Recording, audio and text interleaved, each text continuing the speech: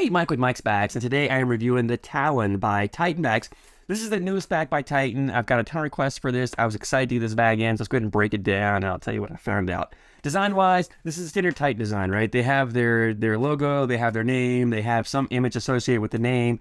If you see bags, you immediately know they're Titan bags, and they at least make them identifiable. I, I don't have any issues with that. It's a carpet bag, so only designed on one side. Uh, it is ACL Pro stamped for 2023 if for those ACL events. Titan also does put the speed ratings on their bags, uh, at least on the carpet bags on the fast side, non-carpets on both sides.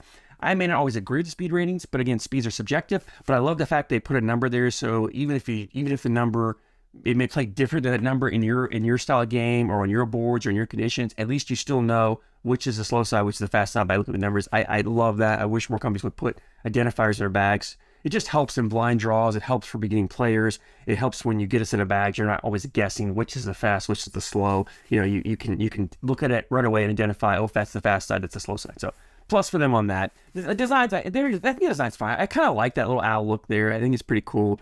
Um, so yeah, all, in all design's fine. Material wise, we'll start the slow side here. This carpet is when I first saw this bag, I thought this was the Pro Advantage carpet. That's what I thought I was getting. I thought they were making. I got the bag and realized that's not what it is. It's actually the same carpet that you find on the Ultra Mojo.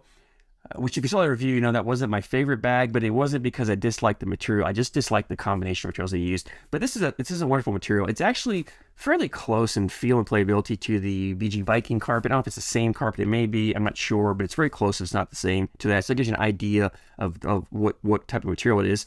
It's a four speed. Um, where I think I read it's what Titan also gives it a four speed. So we're both on the same page there. It's a very controllable material. It's actually I really like it for a carpet material. Fast side, this is the this is the same fast side that you find on the the X level lights out round two I reviewed. It is the fast it's a slow side of the cat 2 it's a seven speed material. It's actually a wonderful material. I don't know why more companies don't use it. I really like this material a lot. I just don't see it very much.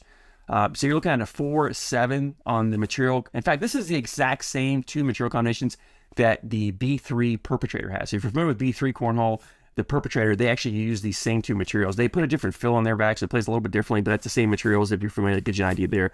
Uh, uh, template wise, this is a medium template bag. This is actually a little bit larger than some of the other Titan carpet bags. In fact, I have a set of Titan Prowlers here um, that I'm got a review coming. I just haven't done it yet.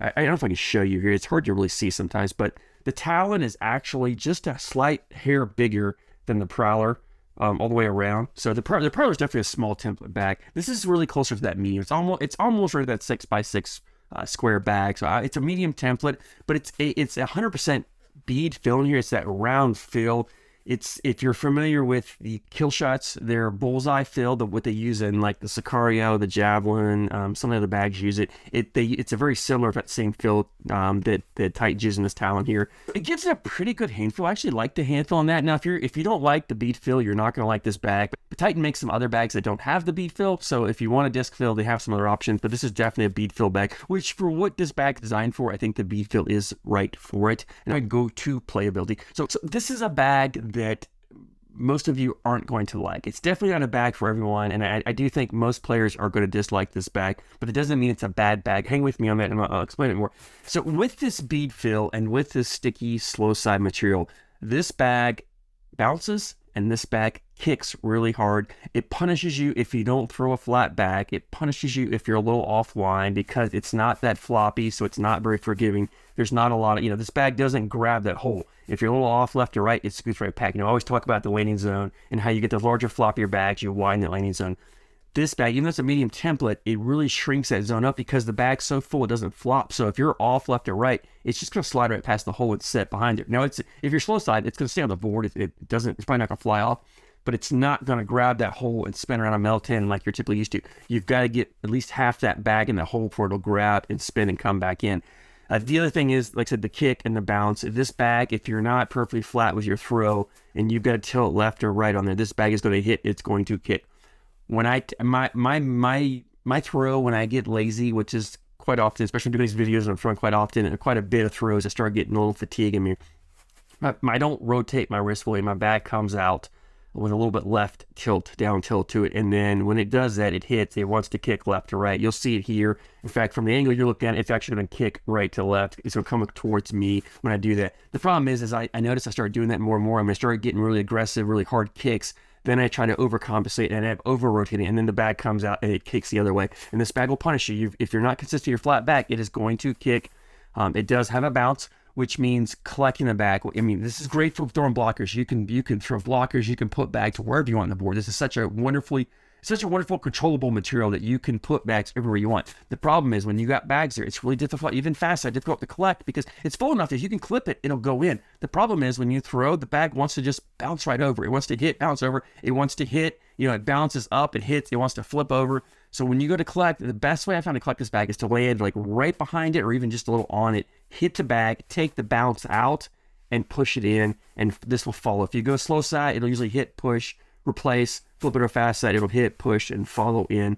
So you can do it that way. Just understand that it's not your typical collect bag. Now, with that being said, I'm throwing it on an open board with just this bag. When you have an opponent out there, the more bags you have on the board, the easier it's going to be to collect because when you you've got multiple bags setting up there and you go to collect, it, it once it hits, it takes a lot of that momentum, out of speed out, and takes some of that balance out. It becomes easier to collect. This is also a bag that is wonderful for shaping shots because of the bounce, because of that stickiness. You can throw cuts, you can throw rolls, you can throw flops. I mean, it just it wants to do all those things and it does it really well. And that's where this bag, to me, that's what this bag designed to do. That's what this bag shines. Is if you're if you if you like to play a shot shaping style game, you like to you like to to to control the board, to dirty up the board, and then get creative your shots. That's where this Talon comes into play. And honestly, I think for me, it's it's a bag that that more so where I'm playing against an opponent who throws a sticky bag. You know, I got an opponent who pulls us of Prowlers, and I know they're going to play a dirty style game, or they pull out a set of, of combats, or set of Vikings, or something with that sticky carpet. I, okay, you know what? They're going to throw blockers up there this is where I want this back. I don't necessarily have to throw the blocker, but when they throw one, I can cut around it. I can roll over it. I can flop over it. I can I can get around it and leave the bag there and make them have to collect their own bag. And this bag is wonderful for doing that and getting around blockers and getting around bags on the board. It, it again, I'm not a roll back thrower, but I was able to roll this bag, able to flop this bag. I could do a lot of things with this as far as shaping shots. Like I said, it really it doesn't shine that well on open boards just throwing by myself. This is definitely not a bag for for playing ghost cornhole or playing you know deca rounds or round holios. It's not gonna it's not gonna increase your PPR, but that doesn't mean you're not gonna win games because this is a, more of a DPR style game I think for for a lot of players.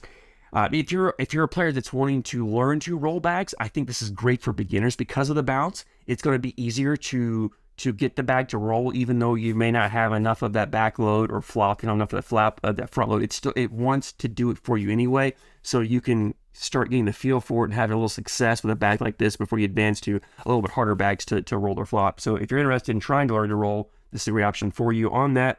Um, and all in all, I I, I, I liked the bag. Um, I, again, I think it's designed for certain situations and certain players. It's not a bag. It's not like one of the Swiss Army knife type bags that can do it all. And honestly, I don't want bags to do it all. Like I love, I'm a situational type player, and I like to pull bags out that fit that situation. You know, the board conditions, the weather conditions, the player, my opponent, the playstyle, how I'm playing at night. I like to match bags up better to that than just say, here's the one bag. I'm throwing this all the time, no matter what. And Titan has a wonderful lineup. So you know, if this isn't a bag that sounds like something you're going to like, Titan, I'm sure has something you like. They have they have a wide range of bags that cover all play styles, all play conditions, so they have something for you. Um, and I like the fact that they're they're they're designing bags for specific players and specific play styles and specific conditions. I think that's what more companies need to do is focus more on this is a bag for this situation. Here's a bag for this situation. Not here's a bag that's for everybody. Right? There's a lot of things here not to like, but these bags in the right player's hands are going to be awesome. I mean, I think the right players to hold of these, and they can do a lot of damage, win a lot of win a lot of games with these bags. So all in all, I, I like the bags. I, I like what they're designed for. They do a great job on that. Now availability on this Titan has a website, TitanCornholeBags.com. I hope I get that right. I'll put a link in the description just to be sure I got that right. The bags are available. Titan does a great job keeping bags available. For the most part, they usually have bags available all, all the time. Um, sometimes I saw certain colorways, certain designs from time to time, but but they don't just stay stock for very long. So they are available. They're $79.99 for a set of bags, which is on kind of that mid to cheaper range of bags. You still have to pay shipping on top of that. Follow the pro players on social media. and you can find most of the pro players have a discount code you can use to save you a, a, a, little bit off on the order. If you have a set, drop a comment down below. I'd love to hear your feedback, whether you like it, dislike it, what you like, what you don't like. So I thank you guys so much for support, and I thank you for watching.